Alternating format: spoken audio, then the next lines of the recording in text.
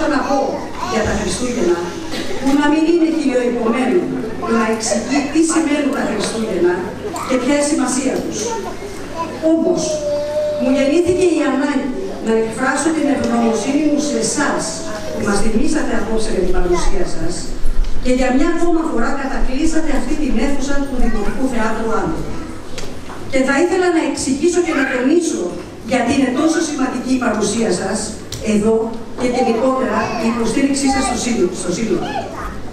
Απόψε βρισκόμαστε εδώ για να επιβραβεύσουμε την προσπάθεια των παιδιών μας και όλων των συμμετεχόντων στην απόψινή γιορτή, των μαέστρων μας και των δασκάλων μας, που αψηφώντας τα όποια εμπόδια μπορεί να δυσκόλεψαν τον ρόλο τους, είναι εδώ με συνέπεια, υπευθυνότητα, δέσμευση, ενδιαφέρον για τους άλλους, αξίες ουσιαστικές και ανεξίτηλες στον χρόνο.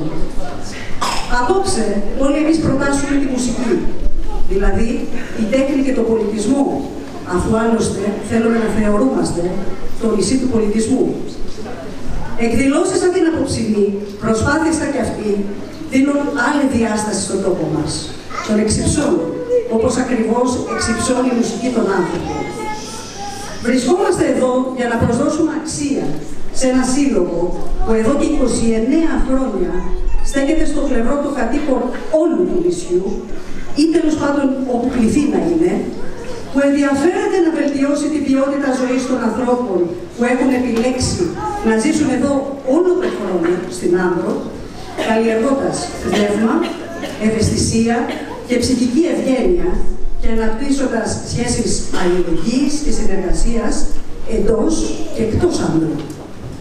Αν δεν είναι αυτή η πραγματική έννοια των Χριστουγέννων, τότε ποια είναι; Δυστυχώς μάθαμε να περιμένουμε μέρες να έρθουν, αντί να δημιουργούμε οι ίδιοι τις μέρες που θα θέλαμε να δούμε να έρχονται στον κόσμο.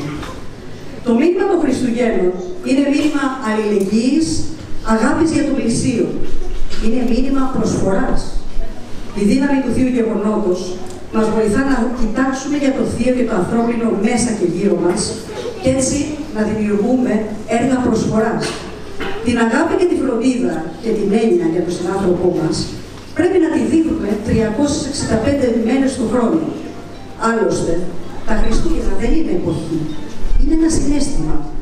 Είναι η αγάπη εδράση. Κάθε φορά που αγαπάμε, κάθε φορά που δίνουμε, είναι Χριστούγεννα. Πάντως, οτιδήποτε και αν γίνει μέσα σε ένα έτος, ο ερχομός του επόμενου θα μας γεμίσει το μυαλό νέες λευκές σελίδες για να τις συμπληρώσουμε όπως θέλουμε εμείς. Δεν μπορούμε να καθορίζουμε πάντα τι θα συμβεί. Δεν ξέρουμε πόσο καλά, καλό θα είναι το 2019 και τι θα μας φέρει. Όμως ξέρουμε καλά πως γιορτές και νέο έτος δεν σημαίνουν ακριβά δώρα και επιφανειακή χαρά. Σημαίνουν νέα ξεκινήματα, νέα ευκαιρία να γίνεις λίγο καλύτερος, σημαίνουν περισσότερη υγεία και αγάπη. Και αυτά είναι όλα εκείνα που θα έπρεπε να ζητάμε και τίποτα παραπάνω. Και γι' αυτό είμαστε ακριβώς εδώ. Εγώ θα τιμήσω τα Χριστούγεννα στην καρδιά μου και θα προσπαθήσω να τα κρατήσω εκεί όλο τον χρόνο. Charles Dickens, συγγραφέας της γνωστής νουβέλα Χριστουγεννιάτικη Ιστορία και προτείνω να ακολουθήσουμε το παράδειγμά του. Καλή ακρόαση και χρόνια πολλά.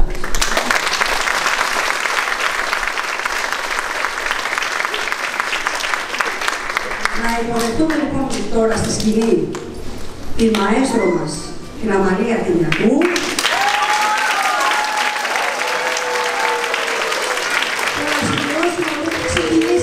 σε αυτή την ηλικία στο Μουσικό Σύλλογο και τώρα είναι μαέστρος μας. Και